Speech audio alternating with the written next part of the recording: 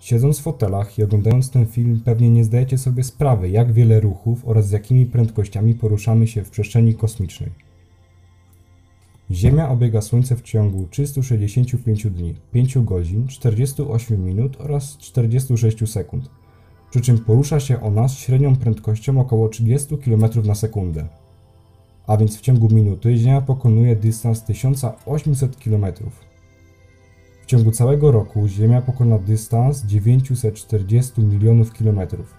Dystans ten prawie odpowiada odległości pomiędzy Słońcem a Jowiszem.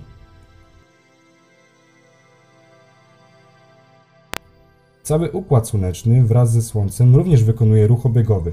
Obiega on centrum naszej galaktyki ze średnią prędkością około 230 km na sekundę. Pełny obieg wokół centrum Drogi Mlecznej zajmuje nam rok galaktyczny, czyli 225 milionów lat. Czyli dokładnie galaktyczny rok temu po Ziemi stąpały dinozaury oraz mieliśmy jeden wielki kontynent.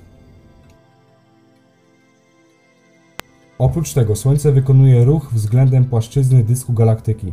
Polega on na tym, że Słońce przechodzi przez środek płaszczyzny galaktyki, poruszając się na przykład na północ, oddalając się tym samym od płaszczyzny na odległość 230 lat świetlnych, po czym wraca i porusza się ono na południe, również oddalając się na odległość 230 lat świetlnych. Cykl ten trwa około 63 milionów lat i wiąże się z nim pewna ciekawa historia. Przyjrzyjmy się teraz naszej galaktyce, ponieważ ona również wykonuje pewne ruchy. Na pewno słyszeliście o tym, że Droga Mleczna zderzy się z galaktyką Andromedy. Wydarzenie to rozpocznie się za około 3,75 miliarda lat i następnie będzie tak trwać przez kolejne kilka miliardów lat. Obecnie galaktyka Andromedy oddalona jest od nas o około 2,5 miliona lat świetlnych, czyli o około 23 tryliony kilometrów.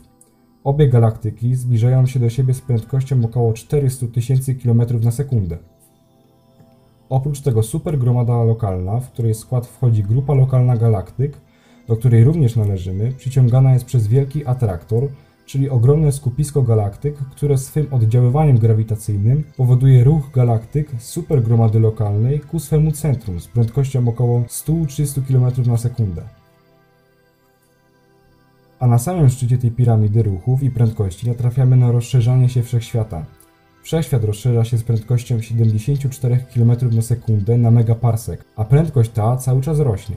A co porusza się najszybciej w kosmosie? Oczywiście światło z prędkością około 300 tysięcy km na sekundę.